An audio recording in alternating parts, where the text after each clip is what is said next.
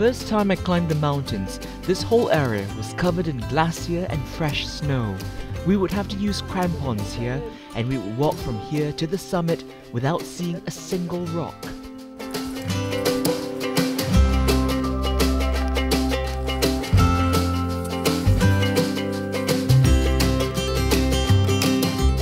There will be a changing environment here uh, in which it is no longer cold enough to sustain glacier systems that occur that. And that will change the ecology of these Afro, distinctive Afro-alpine environments.